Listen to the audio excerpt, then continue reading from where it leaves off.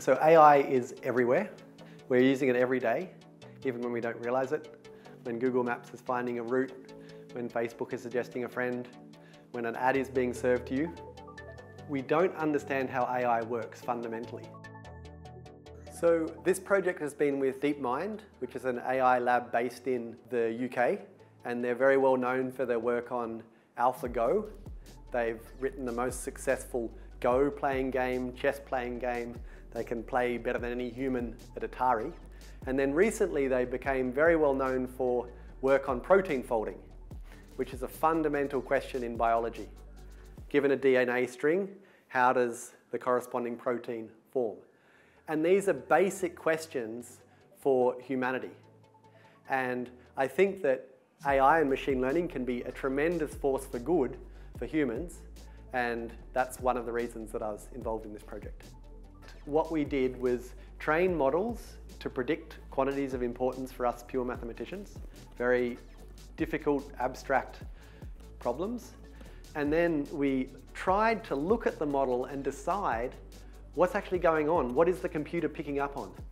And it's a little bit like you have some colleague who is very smart but can't explain to you how they're getting the answer right every time. So we've worked very hard to try to use basic techniques to reverse engineer the machine learning and then learn things that we humans can understand. So I view this as like a small piece in the problem of explainability of AI. So often in mathematics, we deal in very, very high dimensional spaces, like 248 dimensions or something, some enormous space. And we try to use the intuition that we have from two and three and maybe four dimensions to explore these high dimensional spaces. But our intuition is fundamentally limited. And sometimes if we use machine learning or AI models, we can explore aspects of those spaces or see relationships which aren't obvious to us. So the two tasks that machine learning tends to do really well on are image recognition and speech recognition. These are tasks that were totally beyond computer scientists 20 years ago. So imagine that I've got a model that can tell me with incredibly high accuracy if a picture contains a cat. But it can't tell me how. What I can do to this model is I can start messing with the picture. I mess with it a little bit, and then it says it's still a cat. And then I mess with it a little bit more, it says it's still a cat. And then I mess with it a little bit more, and it says no, it's not a cat anymore. Then you can start saying, ah, aha, this is the thing that you're zooming into model, this is the catness in this picture. And that's what we've done in these high dimensional models in mathematics to gain human understanding out of a machine learning model. So what's a neural net? Basically what we did is we looked at how the brain works. So a brain has a whole lot of neurons and they fire and they're connected together in some complicated way. And we built a very crude model of that on a computer. And then what we do is we try to adjust the firing rates so that this neural net performs some task, for example, recognizing a cat in a photo. And for some reason this works and we don't really know why. So how do we train a neural net? It's a little bit like navigating a landscape. So what we want to do is we're in a landscape, it's very foggy, we can't see the mountains, and we're trying to find the top of mountains. And what we do is we just kind of wander around the landscape and try and basically go uphill. And for some reason, even though this landscape is very rocky and very mountainous, these algorithms tend to find peaks, i.e. peaks of performance. So this might come as a surprise to many, but Mathematicians are deeply intuitive people. I'm an absolutely hopeless surfer, but if I surf with really good surfers, they can tell me, you should sit here in the wave. And if I ask them, why should I be here? They can't tell you. It's some kind of feeling. And mathematicians are very similar. We often operate on intuitions about a problem. What could lead to a solution? And often we'll work for many months without reliable evidence to go on. So when we find one of these peaks, this means that our algorithm is doing well. So AI has been incredibly successful in human application, like image recognition and speech recognition, but mathematicians have been very suspicious of its utility attacking difficult mathematics problems. And I think that this work shows that certainly AI is nowhere near replacing mathematicians, but it's an incredibly useful tool a little bit like a pocket calculator, which I think that we should start embracing. So in this project, we concentrated on two areas of mathematics, knot theory and representation theory. And in knot theory, what you have is a knot as you would think of a knot, and you can associate a whole lot of different measures of this knot. So there's hundreds of different measures of this knot's complexity.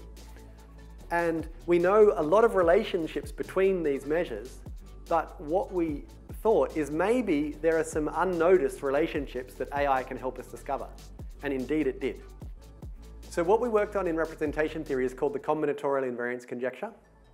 This is a, about a 40-year-old conjecture. It was first put forward by George Lusztig in 1981, 1982. And what is going on here is you have some very complicated structure, and to this structure you associate a polynomial. So this complex structure is called a Bruhat interval, and the polynomial is called the Kazhdan-Lusztig polynomial. And the conjecture is saying that this polynomial only depends on the structure. And what happened when we trained this model is the model could get basically 100% on this problem. And so we knew that the answer is there somewhere. And the really difficult part of this project was to reverse engineer the model to gain understanding about this problem. And what we ended up coming up with by directly looking at this model is a conjecture for how to get this polynomial out, which we checked in over a million examples. And I think that we're very close to a proof of this conjecture. So this is one of the first times an AI model has led to a mathematical theorem. So in mathematics, we have theorems and theorems have proofs. And often we can check something in millions and millions of examples on a computer. And if it's true in all those examples, it doesn't mean the theorem is true. It still could be the case that in some crazy example, very, very far away off in the universe, that statement is false.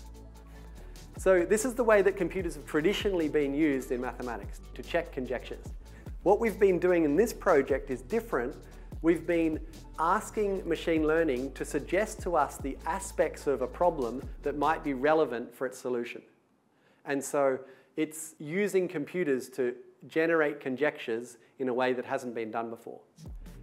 It's still up to us, though, to finally find the proof, and that's what I'm still struggling with now. So what I find really funny is that AI, at its very base basis, is incredibly simple. It's just a whole lot of matrices, plus maybe a max function.